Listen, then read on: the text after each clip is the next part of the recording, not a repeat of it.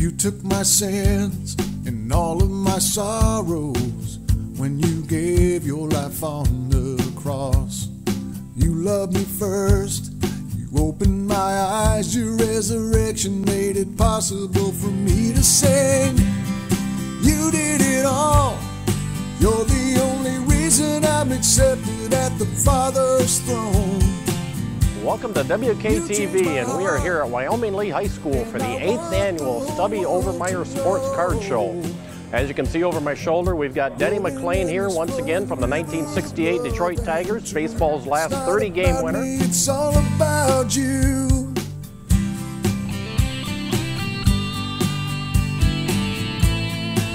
It's all about you. Gave me a voice worship. You are worthy of thanks and praise.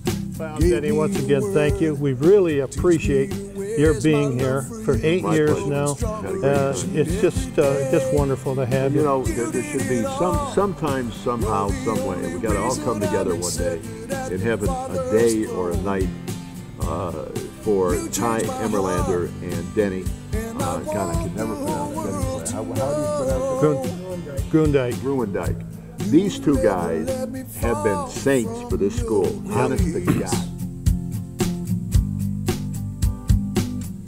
My sins have already been washed away.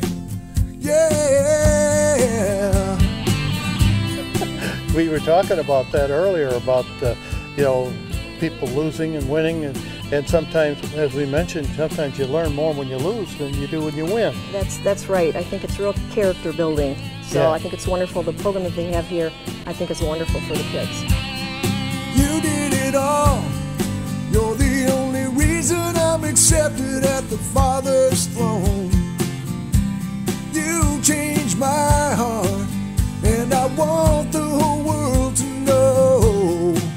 You watch kids grow. you know, Yeah, and they play for the right reasons. Yeah. The love of, of the game and the joy and, and, you know all that stuff, and uh, that's what it's about. Sounds like you've had a very good uh, uh, career that you like. I've been blessed, yes, yes, sir. Yes, haven't we all?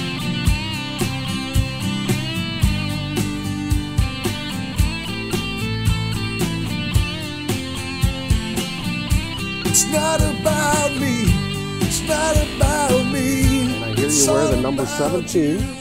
Denny McLain would be pleased with that, I'm sure. I from wear that. it because of him. There you go. That's quite the tribute from that point of view. You mentioned.